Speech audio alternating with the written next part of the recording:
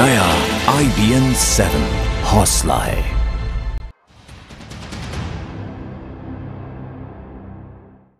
कांग्रेस ने आज प्रदेश सरकार के खिलाफ विरोध प्रदर्शन किया और मोर्चा निकाला। प्रदेश अध्यक्ष अजय माकन के नेतृत्व में कांग्रेस ने एक मोर्चा निकाला और इस दौरान दिल्ली के मुख्यमंत्री अरविंद केजरीवाल का पुतला भी फूका गया।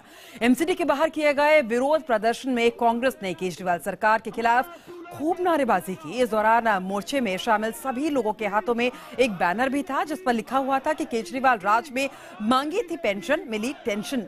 ये सभी लोग एमसीडी ऑफ़िस के बाहर विरोध प्रदर्शन कर रहे थे। गौरतलब है कि प्रदर्शन में जनाधार खो चुकी। कांग्रेस एक बार फिर अपनी साख बनाने की कोशिश में जुटी हुई है। पेंशन धारकों के मुद्दे को उठाते हुए कांग्रेस ने ये विरोध प्रदर्शन किया। तो चलिए अब आपको सुनाते हैं कि दिल्ली प्रदेश कांग्रेस अध्यक्ष अजय माकन का क्या कहना है।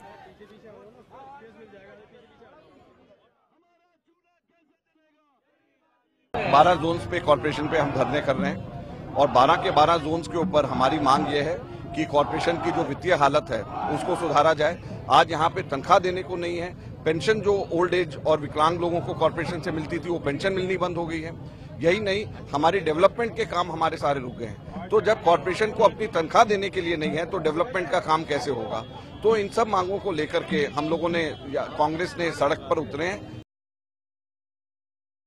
और मौके पर मौजूद हमारे संवाददाता रवि सिंह ने इस पूरे विरोध प्रदर्शन का जायजा लिया।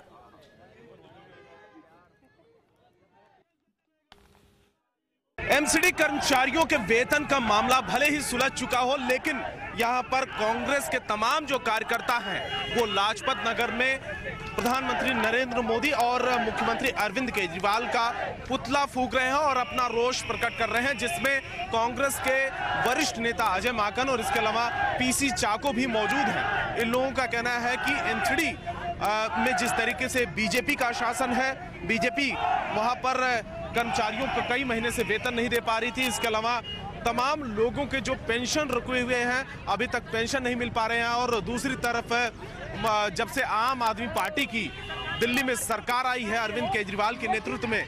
तब से तमाम जो कार्य है, वो रुक चुके हैं।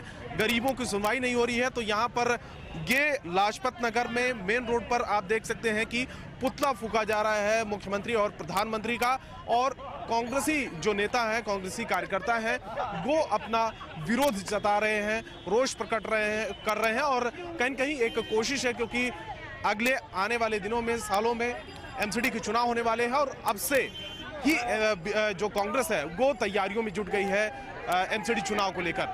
कैमरा पर्सन नेहा के साथ, Ravi Singh, Delhi I B seven